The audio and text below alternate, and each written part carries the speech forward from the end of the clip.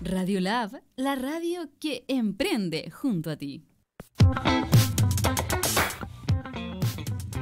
Muy buenos días mi gente, ¿cómo están? Feliz miércoles. Hoy estoy muy contenta porque tenemos un invitado muy muy especial. Pero antes de presentarlo, déjenme recordarles a través de dónde nos pueden ver.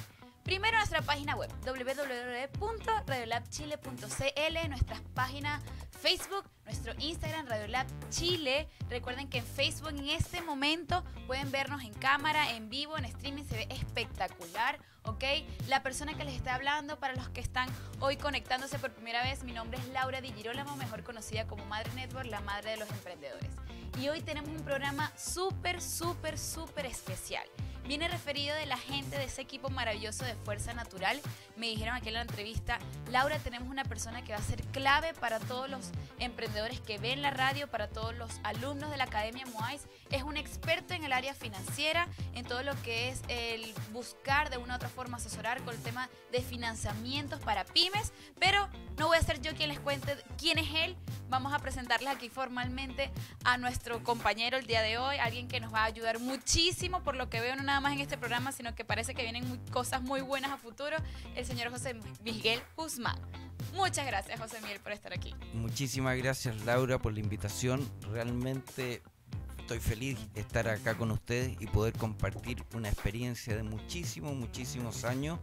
Eh, primero como empleado, ¿no es cierto? Pero siempre trabajando en el área financiera y desde el año 2000 formando mi empresa para ayudar precisamente a emprendedores, a gente que eh, ha necesitado desarrollar eh, sus negocios y ha visto que esta área ha sido clave para que pudieran permanecer en el tiempo. Eh, así que con el mayor gusto vamos a, iniciar aquí. Bueno, de verdad, José Miguel, gracias. José Miguel, te voy a explicar un poco a ti y a todos los que nos escuchan. Bueno, primero contarles que este programa es auspiciado. Tenemos dos emprendedores una emprendedora que se llama Son dos familias, cosa que me enorgullece mucho, emprendimientos familiares. El primer emprendimiento es La Vaca Mariposa. José Miguel, ¿tú has saboreado alguna vez? A ver, vamos a, vamos a, comenzar a ver si, si qué tanto conoces de nuestra comida venezolana. Algo que se llama natilla. No, he oído hablar de las arepas. Ajá, bueno, las arepas, que es algo que por lo que veo no has probado. Vamos a ver, cuando nos volvamos a ver, te voy a traer aquí, eh, ya sabes, Patricia, tenemos que traerle natillas a José Miguel. Es una especie de como. No es crema, no es sólido, no es líquido, pero es como si fuera un queso. Bueno, de verdad es complicado explicarlo, pero es divino, José Miguel. Como a mí me huele que el programa de hoy nos vamos a quedar cortos y vamos a tener que repetir este programa, aquí yo públicamente comprometo a Patricia que tiene que traerle natilla, no nada más José Miguel, sino aquí ya tenemos todo un equipo, tenemos una radio chilena que debe conocer esta exquisitez venezolana. Pero con el mayor gusto. Ese es uno de nuestros emprendedores patrocinantes. El otro patrocinante es que tenemos a Best Express, es una empresa también familiar que de una u otra forma ayuda a todos esos emprendedores cuando comienzan con su primera, mi primer local, mi primera oficina y no tienen un proveedor de confianza que les resuelva económico, eh, a domicilio, todo lo que es eh, aseo personal, aseo de limpieza. Entonces, realmente, pues me enorgullece que nuestros dos auspiciadores del programa sean dos familias emprendedoras que de una u otra forma están ayudando a los emprendedores y bueno, yo creo que creo que en, en, tu caso, como veníamos hablando fuera del programa, todo lo que sea de ver un emprendimiento que esté en esos valores que nosotros hablamos, de hacer las cosas con corazón, más allá de, de la plata, la plata es la consecuencia, pero cuando hacemos algo de vocación, pues el éxito lo tenemos asegurado. Así es, así Te cuento, José Miguel. La idea del programa es, de una u otra forma, como conversábamos, es al principio conocerte a ti, que el mundo conozca quién es José Miguel, tu experiencia. Estamos hablando de más de 25 años de experiencia, señores. Bastante anoche, más. Anoche me puse a leer su página web para que todos, si quieren buscarla en este momento, es www.guzmanriesco.cl, ¿correcto? Correcto. Cuando yo anoche me puse a leer esa página yo, Dios mío, este hombre tiene más de 25 años, ha trabajado en el Bank of America, contador y además tiene un máster en administración de empresas. Así ah, es. viste, hice mi tarea, somos colegas. Así es. Yo me gradué de administradora de empresa, también estaba sacando contabilidad, pero dije, no, me voy a quedar solo con empresa. Así que somos colegas, solo que la experiencia, bueno, es muy diferente. Tú realmente me, me quito el sombrero con esta experiencia. Entonces, primero vamos a hablar de José Miguel, su experiencia. Esa vida primero como empleado, Ahí vamos a conversar un poco cuándo José Miguel decide dejar de ser empleado y convertirse en un emprendedor. Muy bien, dentro de ese emprendimiento, todas estas asesorías vamos a hablar, vamos a ayudar a esos emprendedores que nos están escuchando que vean cómo de una u otra forma pueden acceder a financiamiento, vamos a conversar de eso y cerramos el programa hablando de José Miguel como humano, como padre, como emprendedor. Me encantó que la foto que me mandaras fuera con tu hija, ya eso habla muy bonito de ti y de tus valores. Entonces, ya yo me callo y ahora viene usted. Comencemos hablando de José Miguel y quién es José Miguel, su experiencia laboral cuando antes era empleado, ese, ese joven que comenzó siendo empleado. Perfecto. Te estoy hablando básicamente para que la gente se ubique del año 80, 81, cuando yo partí siendo empleado en ese entonces del Banco Español Chile. Ok que hoy es el Banco Santander. Y eh, continué en, en, la banca, en el Banco of America, donde aprendí mucho, pero muchísimo de banco y de ver cómo los bancos hacen los análisis cuando la gente y los medianos empresarios y las empresas hacen las solicitudes de crédito para financiar sus negocios. Fue una experiencia valiosísima y, y, muy enriquecedora. O sea que tú conociste a todas esas personas, todos esos emprendedores que iban al banco a solicitar créditos, tú analizabas qué por qué el banco decía que sí, por qué no. Exactamente, justamente cuáles eran las, los errores que cometían básicamente a la luz del, del análisis que hacíamos en el banco, a la luz de lo que se llama una gerencia de riesgo, que evalúan efectivamente las condiciones básicas, que son cuáles eh, los flujos actuales, cuáles son los potenciales flujos, para qué está pidiendo la plata, cuál es el sentido que va a tener en, en, la empresa si se pide esa plata y finalmente, por supuesto, si eso lo puede pagar y le va a significar algo positivo. Y también vimos claramente en casos en que no correspondía darle esas plata, ¿no es cierto? El por qué y cuáles eran los errores que los vamos a ir comentando en el transcurso de la, de la entrevista.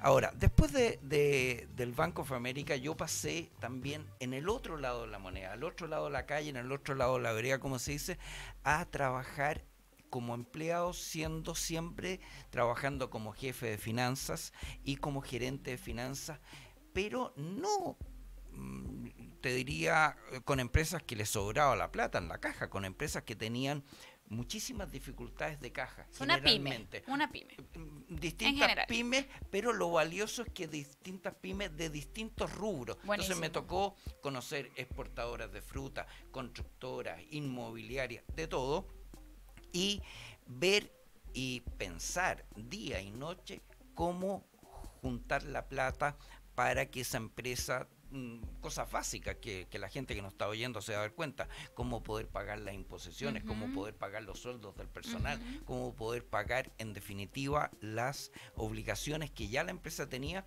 y cómo en forma paralela buscar nuevas fuentes de financiamiento para mejorar las opciones de que esa empresa pudiera seguir. Esa fue mi experiencia eh, y de ahí eh, hasta el año 2000. El año 2000 decidí formar mi propia empresa consultora, pensando precisamente en la experiencia que ya había adquirido, ¿no es cierto?, en todo el área financiera, ya sea en banco o en el eh, departamento de finanzas, ¿no es cierto?, de distintas empresas, como esa experiencia que yo ya tenía y que me daba cuenta que podía ser tremendamente útil a los empresarios, los pequeños y medianos empresarios, ¿no es cierto?, de este país, cómo yo podía aportar en eso a la sociedad, dando mi aporte en el sentido de un área en que si esas pequeñas y medianas empresas decidían eh, emprender, hacer un negocio, les iba a dificultar el hecho de no tener esta parte sólida, no tener un apoyo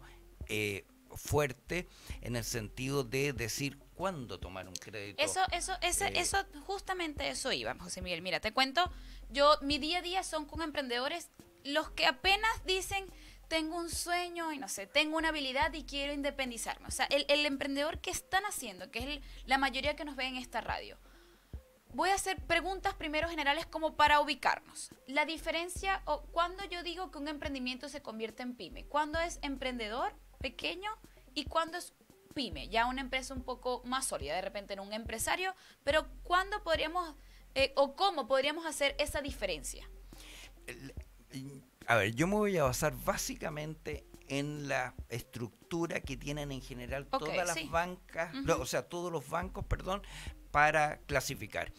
Es, están clasificados básicamente las pymes, eh, que eh, el concepto es las pequeñas y medianas empresas, empresa. Que son las que venden hasta un millón de dólares anuales, hasta unos 500, 600 millones de pesos en el año, y de ahí para adelante ya pasan a ser empresas medianas. Estamos y, hablando de eh, un millón de dólares anuales. anuales. Entonces, las que venden hasta eso son pymes y, por supuesto, mm, eh, empresas menores que pymes son las que venden, ¿no es cierto?, 100 millones de pesos en el año, en fin, hay distintas categorías, pero pasan de los 500, 600 millones al año ya pasan a ser pymes de mediana y, ¿Y cuando un emprendedor puede decir, mira, yo, yo soy o soy emprendedor o soy pyme? ¿Cómo, para ti, cuál es la diferencia? La diferencia básicamente cuando una persona dice yo soy un emprendedor es cuando está pensando mucho en un tema más bien personal, particular, de querer desarrollar básicamente una idea, un concepto.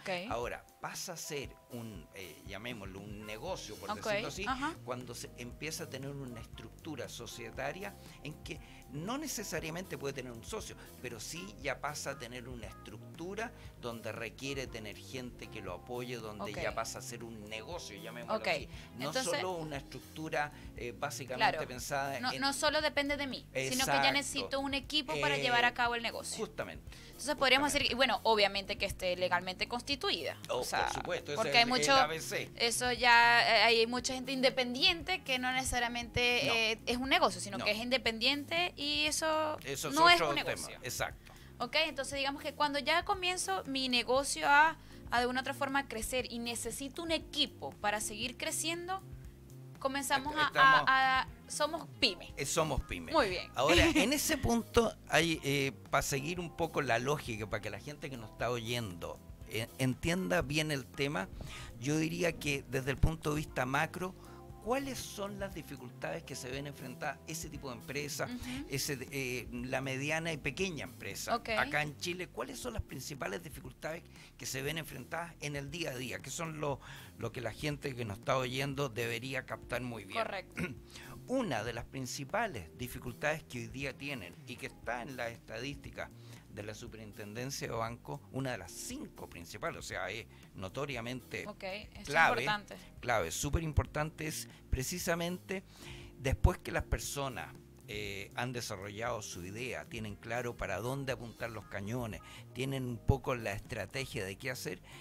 ¿Qué- ¿Cuál es el principal problema de lo, dentro de estos cinco? Es el acceso al financiamiento para poder desarrollar y poder darle estabilidad a esa idea y transformarla en un negocio. Es, en definitiva, cómo accedo yo a un financiamiento que me permita llevar eso a cabo. ¿Por qué? Porque muchas veces eh, eh, estas personas no necesariamente cuentan con capital propio. Esos la, son la casos- mayoría Exacto. no. Eh, eh, eso es el tema. La mayoría no cuentan, pero sí tienen la idea.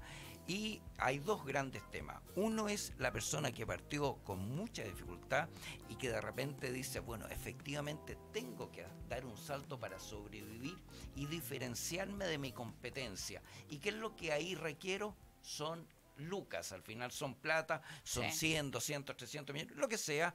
Y ahí está, en ese, ese primer punto, y está el segundo punto de la persona que parte prácticamente en cero, ¿no es cierto?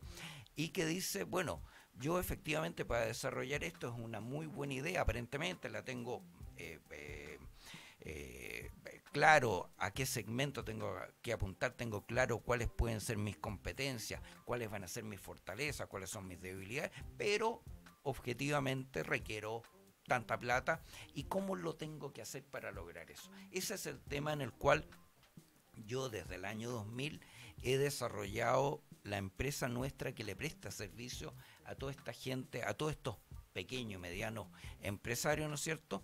En un tema que también ahí se abre, para que la gente me vaya oyendo y entendiendo.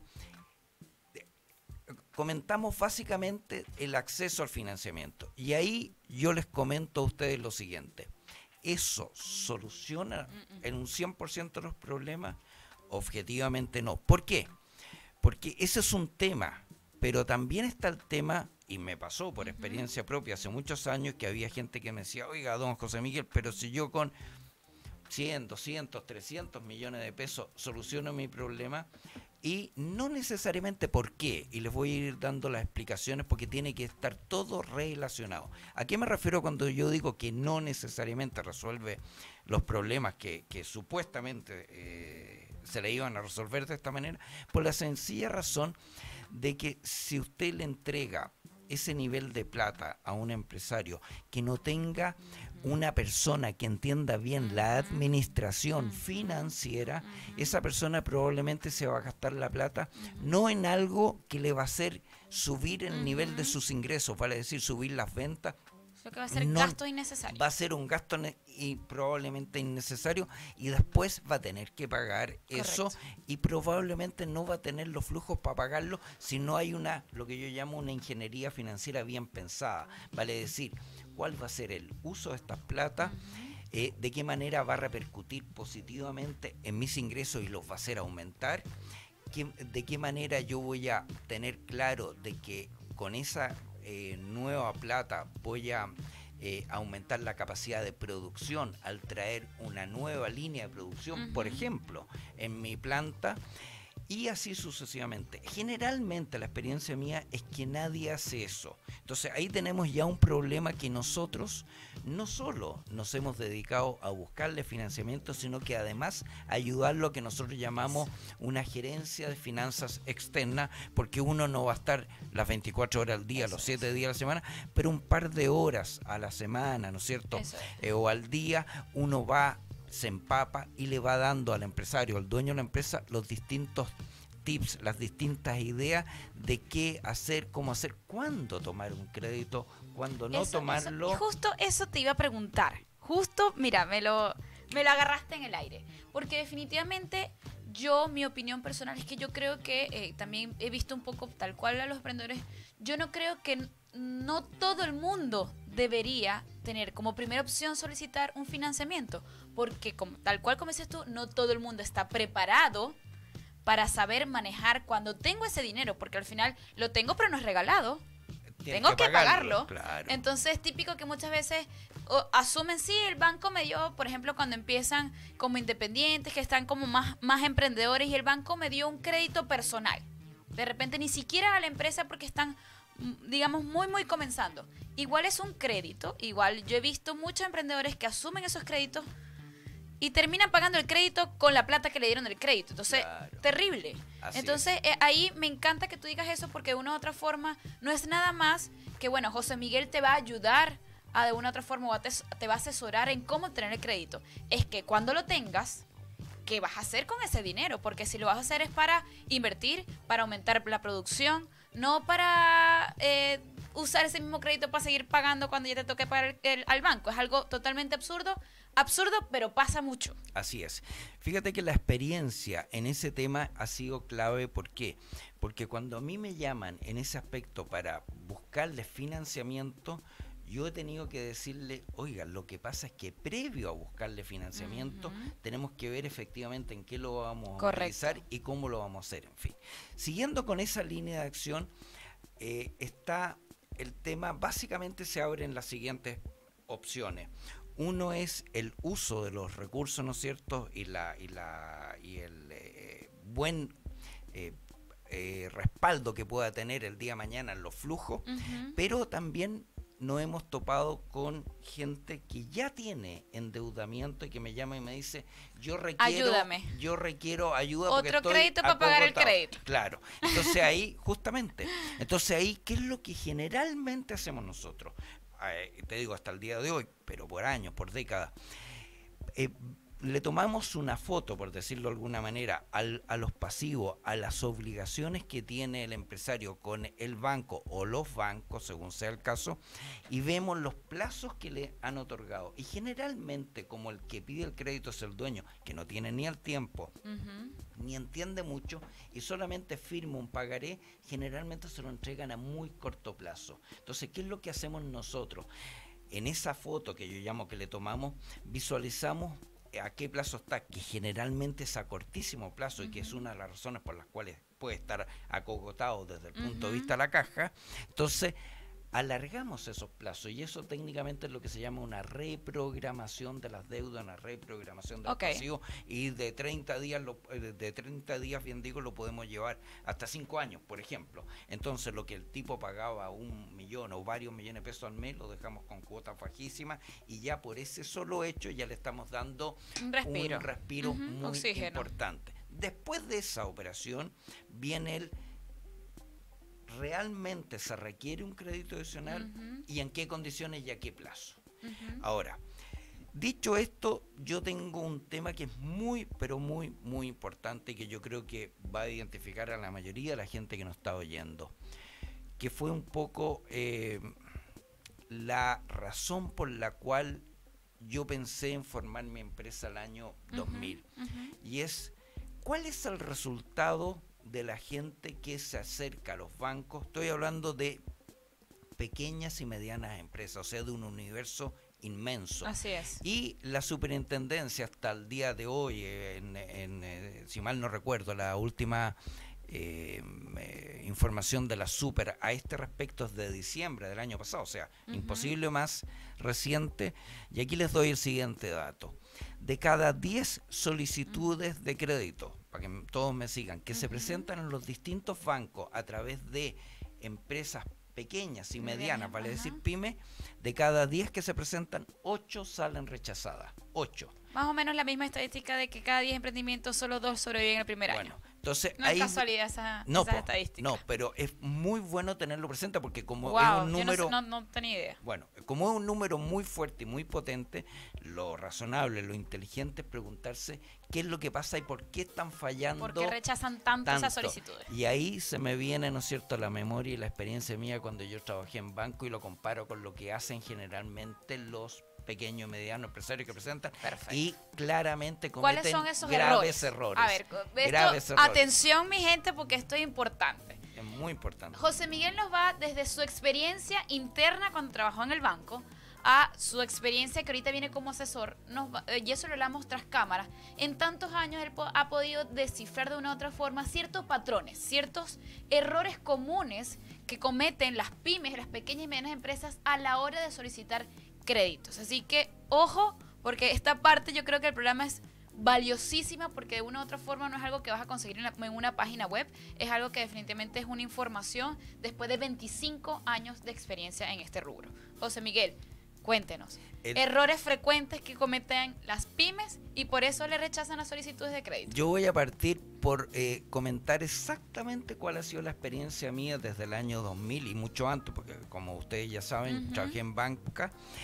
Es básicamente lo siguiente. ¿Qué es lo que ocurre? ¿Qué es lo que hacen? Y ustedes mismos se van a dar cuenta en cómo se van produciendo los errores. ¿Qué es lo que ocurre? Pongamos la situación textual. El, el, empresario, ¿no es cierto?, tiene un- una dificultad de caja y, eh, y él hace las veces de gerente general, de jefe de finanzas, de gerente de finanzas, de contador, de secretaria, de gerente de producción, de gerente comercial. Marketing, Entonces, ventas, todo. eh, Entonces, mensajero. esa persona no tiene la posibilidad de analizar mayormente y qué es lo que le ocurre. Esa persona está con un déficit de caja y qué es lo que hace. Llama al banco y llama a su ejecutivo de cuenta. Y aquí, con el perdón de la mayoría de mis amigos banqueros, no necesariamente los ejecutivos de cuenta que están atendiendo hoy son lo suficientemente profesionales y muchas veces la información, y no todo es culpa de ellos, ojo, sino que la información que también reciben es muy pobre. Y ahora les voy a explicar por qué. Resulta que... Eh, José Miguel, estamos hablando de este caso del, de, ese, de ese pyme que va a solicitar su primer crédito. Claro, o- que, o- que solicita Claro, crédito. por- exacto, porque nor- normalmente me imagino que es ese porcentaje tan horrible son los primeros créditos, porque de, de repente si ya me aceptaron un crédito, tengo una mayor probabilidad, más o menos debería saber cómo hacerlo. Claro, eh, eh, así es. ¿Cuáles son estos errores? El, el- el dueño de la empresa llama, ¿no es cierto?, al banco y generalmente lo hace en una primera instancia a través de una conversación telefónica muy poco formal, donde el ejecutivo generalmente le dice, ya, mándame los últimos balances y punto. No pasa más allá de eso Solo los requisitos. lo, lo- lo básico. Entonces, ¿qué es lo que hacemos nosotros? ¿Cuál es la diferencia fundamental en donde nosotros realmente tenemos prácticamente un 95% de aprobación con las personas que que nos piden ayuda a través de las balanzas de sus sociedades. ¿Qué es lo que hacemos? Lo primero de todo, revisamos la historia si es una persona que tiene o no tiene historia en su negocio. Es distinto a una persona que tenga solamente una idea, eh, es distinto y hay que ver después eso cómo se maneja, a una persona que ya tenga un par de años en su negocio. Eso, eso es importante. Estamos hablando de que por lo menos lo ideal es un par de años legalmente registrando todos esos movimientos. Claro, yo estoy hablando del el acceso al financiamiento de la banca, por supuesto que nosotros también podemos trabajar y tenemos contactos con inversionistas que están enfocados para otro mercado, pero hablemos para ordenar la conversación sobre qué es lo que pasa con la mayoría de las pymes que piden acceso a los bancos. Al seguir ese, ese conducto tan casi, les diría yo, con algún grado de certeza que les va a salir rechazado, salvo que les toque una persona, un ejecutivo bastante movido, que no, no es lo muy usual ahora último, pero en fin. ¿Y nosotros qué es lo que hacemos como, como contraposición? Básicamente revisamos y armamos una carpeta, entiéndase bien, armamos una carpeta de presentación del cliente que incluye básicamente los siguientes tópicos. Primero nos, nos eh, eh, verificamos que esté toda la parte legal al día. Segundo, vemos toda la parte contable, es decir, visualizamos que esté todos los balances y que los balances sean legibles en el sentido, hay, hay empresas que hasta el día de hoy trabajan con balances a ocho columnas como si fuera hace 20 años atrás y yo pido que les hagan balances clasificados y además revisamos las principales cuentas para ver si efectivamente las explicaciones que nos están dando la empresa son las mismas que nosotros vamos a poder dar en el banco y si tienen sentido o no. Y si no pedimos que se arreglen algunas cuentas sobre la base de la realidad, por supuesto. Y sobre esa base pasamos a un tercer punto, que es el siguiente y que generalmente nadie lo hace, que es pedimos formalizar la solicitud ante el banco lo hacemos nosotros por cuenta del cliente con una solicitud formal en donde establecimos el monto exacto, el plazo desde ya, no lo dejamos a criterio del banco, hay una diferencia fundamental. Eh, eh, eh, le ponemos el motivo del uso de esos dineros va a ser para la compra de una maquinaria, va a ser para, en definitiva, aumentar las ventas a través de este proceso que estamos haciendo. Y vemos si tiene o no tiene posibilidades de ofrecer garantías reales, para que la gente sepa, las garantías reales tienen que ver básicamente con bienes raíces, con algún activo que pueda respaldar esta propuesta al banco. Además de eso, ¿qué otra cosa hacemos para hacerle en definitiva la pega mucho más fácil al banco? Hacemos nosotros un flujo de caja en que dentro de ese flujo de caja determinamos los ingresos actuales y ponemos este préstamo, ¿no es cierto?, donde vemos el efecto que va a tener en las ventas, también lo vamos eh, eh, describiendo, mostrando, pero también mostramos en los egresos el, eh, el eh, calendario de pagos de este préstamo donde quede claramente demostrado que sí se puede pagar y que va a tener un efecto positivo en la empresa. Eso en general la empresa no lo hace, lo deberían hacer y generalmente no lo hace. Entonces nosotros hacemos una presentación realmente sólida donde además de todo lo anterior, ¿cuál es el camino que seguimos? Vemos dónde se empresa trabaja, en qué banco y visualizamos esa opción como primera instancia, porque ya lo conocen al cliente. Pero hay veces en que nosotros mismos le recomendamos al empresario, no, no preferimos no ir donde esa empresa y aprovechamos nuestros contactos y vamos a un tercer banco. ¿Por qué? Porque puede ser que haya tenido algo de historia en ese mismo banco y que haya quedado medio complicado el tema y, y, preferimos presentarla en una parte donde esté limpio para atrás, por decirlo de alguna manera. Entonces, todos esos elementos son los que hacen al final que nosotros tengamos una altísima tasa de aprobación. Ahora, dicho eso, hay un último elemento en esta presentación que también es importante y que tiene que ver un poco con los socios, un poco con la historia de ellos. Eso es súper importante. Es clave. Vale decir, ¿Qué experiencia tienen ellos en el rubro de su empresa? Es mm. gente que, que, que, que, lo conoce, que lo maneja. Y por último, además de los socios, nosotros también hacemos un pequeño, yo digo un pequeño, pero es un gran análisis desde el punto de vista de, vemos esta empresa y visualizamos en qué mercado está y vemos cuáles son sus principales competidores, ¿vale? Ok, decir, eso es importante. No eh, sabía que eso es parte de la evaluación. Claro, eh, o sea, es que yo estoy pensando en la gerencia Claro. de riesgo de un banco. Claro. El gerente de riesgo de un banco, que yo Claro. conozco algunos, eh, lo primero que hace es, bueno, esta empresa en qué mercado está. Eh, tiene posibilidades de permanecer en el tiempo y de Correcto. darle estabilidad a través de esta empresa. O sea, de una u otra forma, o sea, a- el, el otorgar el crédito es como consecuencia de yo, a mi juicio, considero que pueda tener éxito la empresa o no. Por supuesto, por supuesto, es clave. O sea, entonces... porque el banco está poniendo plata. Exacto, eh, está apostando a ti. O sea, entonces para yo apostar a ti, tengo que realmente creer que tu proyecto va a tener éxito en el tiempo. Claro. Hay un elemento que es clave. Eh, tú me entendiste muy bien, Laura, el concepto. Y hay un elemento que es clave y que también me ha pasado mucho y que los bancos son muy francos y yo, en cierta manera, les encuentro razón. Eh, y es el siguiente. Además de todos los puntos que hemos tocado, está un elemento que eh, también es clave, que es lo que ellos llaman, y lo voy a explicar eh, en breves palabras, el management, vale decir, la gerencia. ¿Quién está administrando esto? Es gente que tiene las capacidades, porque si yo le voy a pasar 100, 200, 300, 500 millones de pesos a una persona que puede ser muy correcta, pero que en definitiva es solamente comercial, es una persona que tiene habilidades en un sentido. Esa persona, esa empresa me da garantía a mí de que vayan a ser bien usados los recursos. No sé si me voy explicando Sí, bien. sí. Entonces ahí entra que a mí muchos bancos me han dicho, José Miguel, yo no tengo ningún problema. Pero además yo pediría que tú estuvieras como asesor externo, pero que Ah, tú estuvieras de alguna u otra manera también De- de detrás, intermediario, detrás, velando claro, que- como esta especie de gerente de finanzas externo, velando porque yo como banco, obviamente que me da mucho más seguridad que esta Claro. persona que tiene la- las condiciones comerciales al fondo esté respaldado por Claro, alguien internamente. que sepa cómo administrar el dinero. Mira, a No mí, sé si me ha quedado perfecto.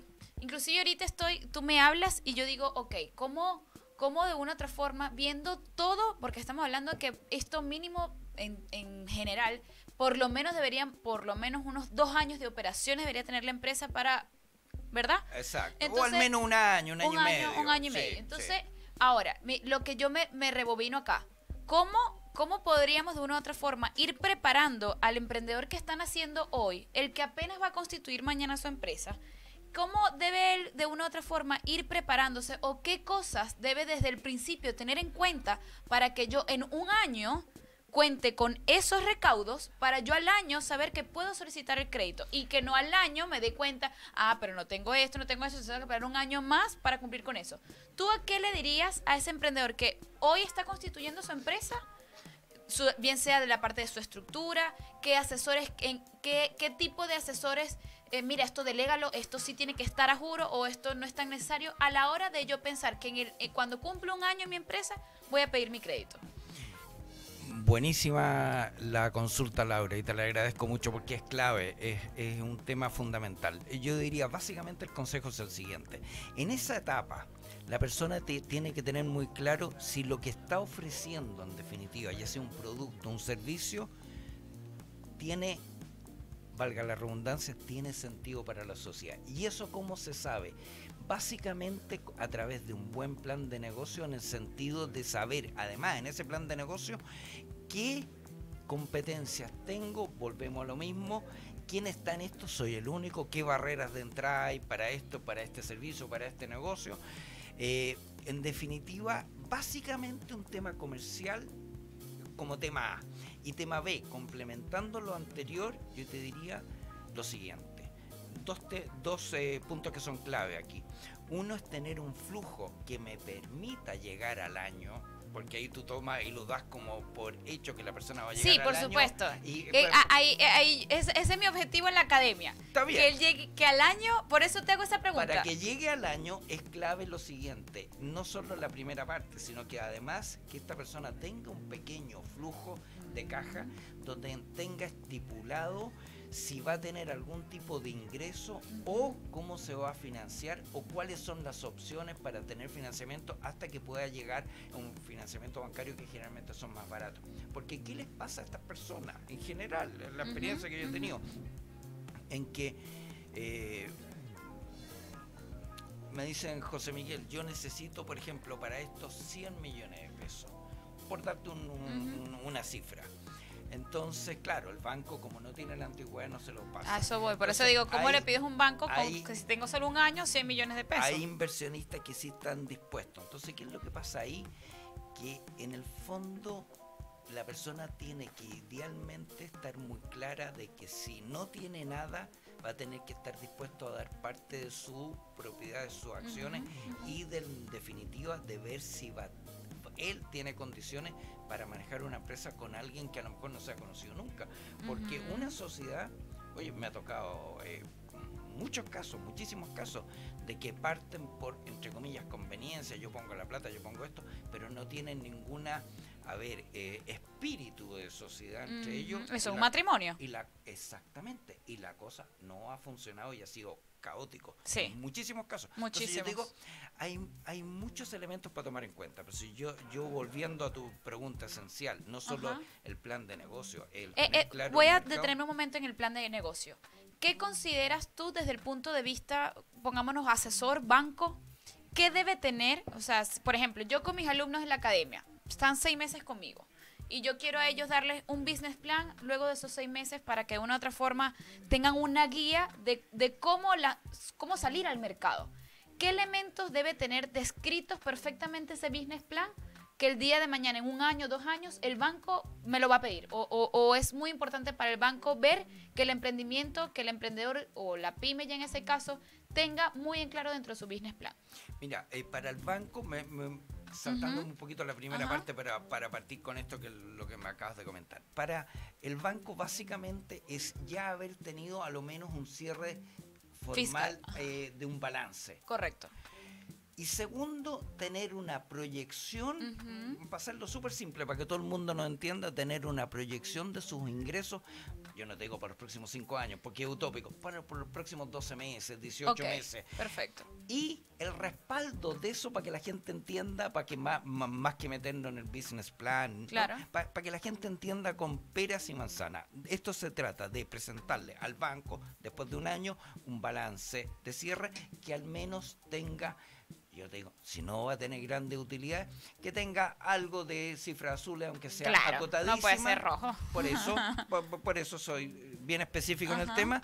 Y una proyección de los ingresos. Y esa proyección de los ingresos no se trata de escribir cualquier cosa, sino que tiene que tener un respaldo del cómo van a llegar a eso. Vale decir, a través de un plan de marketing voy a lograr penetrar al mercado donde yo estoy apuntando y con eso voy a conseguir un 5%, un 6%, un 10% más de aumento en mis ventas. O sea, En función lo- también de la tendencia que he tenido. De- eh, por o sea, o con sea, esta con- tendencia llevamos eh, este crecimiento, eh, sumándole esta estrategia de marketing, consideramos que aumentaremos un 20% y, Exactamente. y hay un año, año y medio. Año, año y De- medio. de- Entonces, con eso de ahí, paralelamente a eso, sigo con el banco, paralelamente a eso, tú sigues y dices el- punto 3, ¿no es cierto? Que sería, ¿cuál sería mi solicitud para justificar el eh, crédito que yo estoy pidiendo? En el sentido de la solicitud mía justificada, en el sentido de decir, si yo voy a pedir tanta plata, voy a invertirlo en esta manera, en esta, tanto en marketing, tanto en esto, tanto en esto, en fin, así. Y de esta manera voy a transformar estas ventas en estas otras ventas más. Por. Eso es lo que en el fondo, a simple rasgo, es lo que todo emprendedor, todo pequeño empresario, mediano empresario, deberá tener eh, claro. Ahora, volviendo al inicio de tu consulta, eh, dejo el tema del banco de lado, que creo que está relativamente claro. En- y voy al tema relacionado con qué opciones tiene. Voy a ser bien específico, bien práctico. ¿Qué opciones tiene el emprendedor que está con una idea que puede ser brillante? Asumamos, porque yo soy siempre positivo Optimista. y optim- siempre por naturaleza, pero a- aterrizado, obviamente. Claro, los números son buenos para aterrizar. Pues, pues, justamente. Entonces, en ese sentido, en ese sentido es muy importante lo relacionado con el tener lo que yo llamo este, este desarrollo claro de a dónde están apuntando los cañones tuyos. Estratégicamente, ¿a qué sector? ¿Es un tema de producción? ¿Es un tema de servicio? ¿A qué mercado quieres apuntar? Eso es el, el- el punto 1111. ¿A qué mercado? Segundo, ¿qué competencias tengo yo dentro de ese mercado? Tercero, dentro de la competencia, ¿cómo le va a mi competencia? ¿Cómo le está yendo? Oye, ¿les va a todos mal? Sí. ¿Qué me meto yo ahí? No sé. ¿Te fijas? Siguiendo en ese mismo análisis, ¿cuánto es? Estoy diciendo el. ABC para sí, que sí, todo no, el mundo me perfecto. entienda. Está perfecto. El, el, eh, siguiente punto. ¿Cuánto me voy a demorar? Fíjate el concepto. ¿Cuánto me voy a demorar yo, que estoy ahora con mi idea? Con todo lo que yo tengo claro que debo hacer para desarrollar esto hasta que yo llegue a vender y a, a generar mis primeros ingresos. Pregunta. ¿Seis meses? ¿Siete meses? ¿Ocho meses? ¿Doce meses?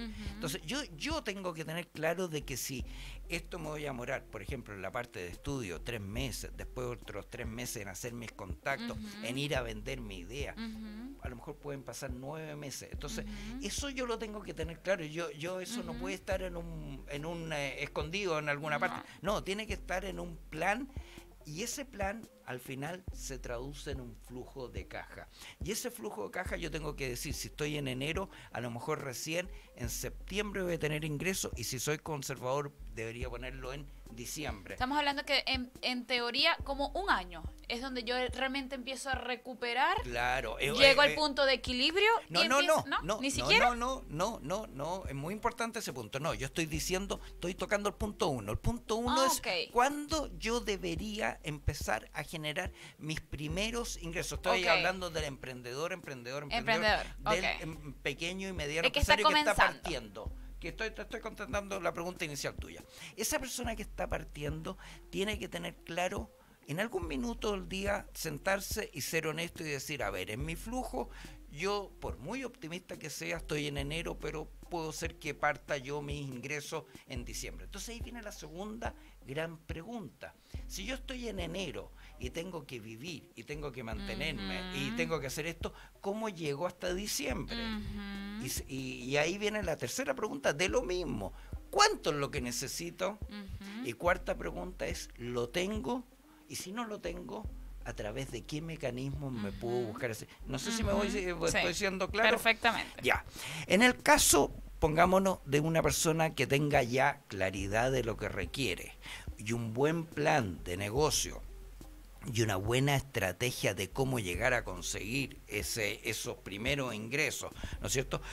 Eh, el punto es que hay opciones de financiamiento a través de distintos entidades, llamémoslo así, ¿no es cierto?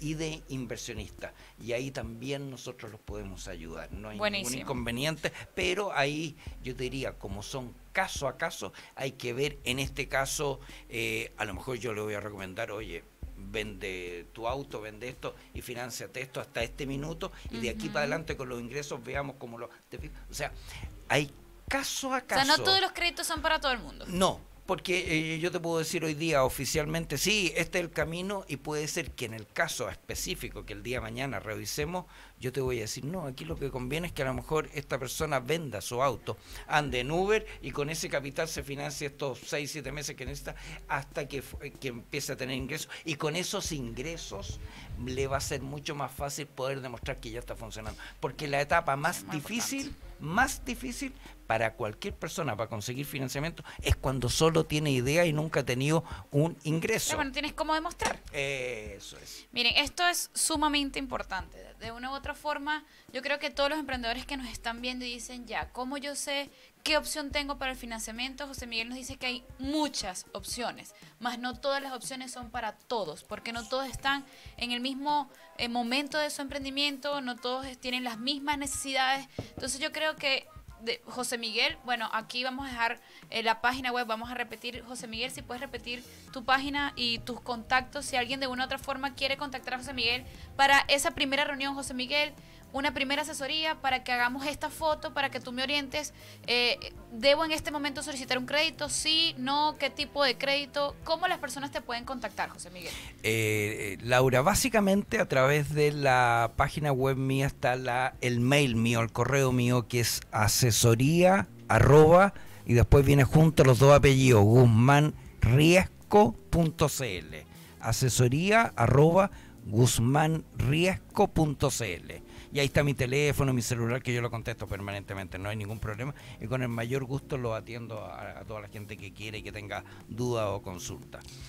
José Guzmán, efectivamente lo sabía, ya se fue la hora, no lo puedo creer.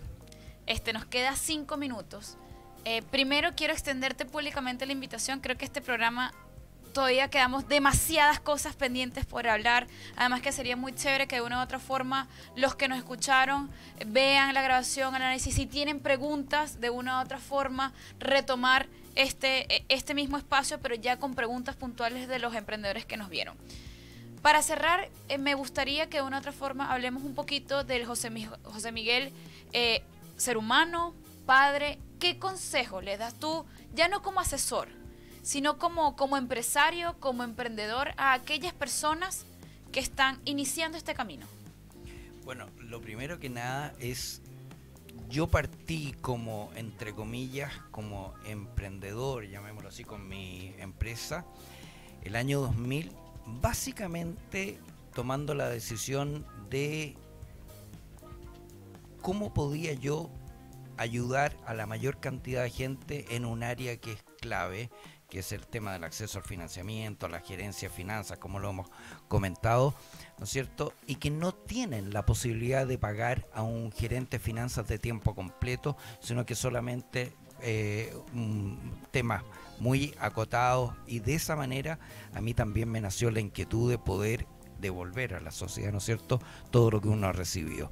Ahora, respecto de los consejos, yo te diría básicamente la persona que cree en su tema, que luche, que sea perseverante, no tengo ninguna duda que ahí básicamente entre la perseverancia y la actitud positiva está la diferencia para que la persona llegue a lograr los primeros ingresos de sus negocios. Ahora, eso no significa que con eso tiene todo ganado, van a venir problemas de distinto tipo, pero si yo pudiera permitirme darles un consejo que creo que es clave, además de la actitud proactiva y de la actitud eh, positiva y de todo lo relacionado con la perseverancia, yo le agregaría un concepto que para mí es clave, que tiene que ver básicamente con el saber elegir muy bien a los colaboradores. El costo de equivocarse en las personas que el día de mañana van a formar parte de su equipo no solo es altísimo en cuanto a, en términos prácticos de plata, sino que de estar permanentemente formando y que se les vaya gente, yo les repito algo que no es idea mía, pero muchas veces son más importantes los empleados en una empresa que los clientes. Sí, estimados auditores, oiganlo bien, oyeron bien. Son más importantes los empleados que los clientes. Si tienen bien a sus empleados, los empleados van a cuidar a sus clientes. Así es. Esa es mi experiencia. Entonces, elijan, pero con pinza a la gente, para que la elijan bien y sea y formen buenos equipos, porque con buenos equipos van a llegar a tener buenas empresas y van a crecer y van a poder desarrollar plenamente todos sus sueños. Creo que eso es lo que en el fondo ha hecho el que yo pueda ver con los años a empresas que yo empecé a ayudar y que hoy son grandes empresas precisamente porque han cumplido básicamente todos esos puntos y que para uno es una satisfacción muy importante haberlos podido ayudar en un, en un minuto cuando ellos partieron. Perfecto. Oye, de verdad, gracias José Miguel. Fue, o sea, sabía que nos íbamos a quedar cortos porque una persona como tú, con tanta experiencia, con tantas ganas de, de una u otra forma también ayudar, o sea, por más allá que sea tu negocio, eh, es rico cuando tú haces eh, de tu negocio algo que sabes que ayuda a tanta gente, ¿no? Y eso lo conversamos, de verdad se nos fue la hora volando, ni siquiera pudimos hacer un break, José Miguel, o sea, fue algo súper, súper, súper flash, de verdad estoy muy agradecida, estoy muy feliz de tener invitados como José Miguel, Gracias José Miguel, gracias a todas las personas que nos están escuchando. De verdad que es muy, muy importante que de una u otra forma compartan esta información en Facebook, en Instagram. Voy a repetir en dónde nos pueden ver Facebook Instagram de Radiolab Chile, www.radiolabchile.cl. De una u otra forma también nuestros auspiciadores van a ser... Eh, eh, portavoces de toda esta información tan importante, tan buena para todos los emprendedores que nos están viendo. Este programa, como ya lo comenté, auspiciado por dos emprendimientos familiares que les tengo de verdad mucha estima. La vaca mariposa, pueden buscarlo por su Instagram, la vaca mariposa. Para los chilenos eso es una exquisitez que te prometo que para el próximo programa lo vamos a tener para que lo pruebas.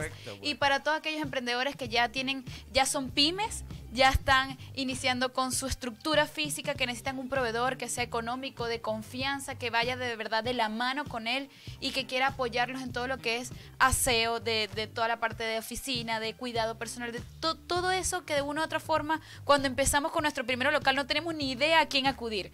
Pues bueno, ellos son Best Express. Muchísimas gracias por estar aquí. Feliz, gracias José Miguel, muy, muy complacida. Y bueno, nos vemos el viernes en nuestra próxima entrevista y les prometo que pronto les estaré avisando cuándo vamos a volver a tener a José Miguel porque esto es demasiado importante y hay que seguirlo de una u otra forma compartiendo con todos los emprendedores. José Miguel, últimas palabras. Muchísimas gracias Laura, la verdad es que feliz de estar en este programa con ustedes y feliz de volver si me invitan, con el mayor gusto. No lo dudes. Bueno, muchísimas gracias nuevamente. Así es, muchísimas gracias a todos ustedes y ya saben, importante, antes de cerrar, tenemos la próxima semana una eh, charla muy especial de marca personal. Lo vamos a estar este viernes desde las 9 y 45 hasta las 10 y cuarto. Estaremos acá en vivo porque solo vamos a sortear 10 cupos, solo son 10 cupos, así que en ese transcurso de tiempo ustedes tienen que llamar aquí en vivo en cabina y solo vamos a tener 10 cupos para esta charla exclusiva en todo lo que es asesoría de marca personal. Así que pendiente en nuestras redes sociales, Ah, importante. Gracias por decirme. Gratis, señores. Y es gratis. Por eso es que es tan exclusivo y solo tenemos 10 cupos. Así que atentos a nuestras redes sociales que vamos a estar anunciando a dónde llamarnos, cómo comunicarse con nosotros. Es lo que nosotros llamamos Personal Lab, que son asesorías de expertos para ustedes los emprendedores. Así que gracias, José Miguel. Gracias a todos ustedes. Nos vemos el próximo viernes. Chao, chao. Muchas gracias.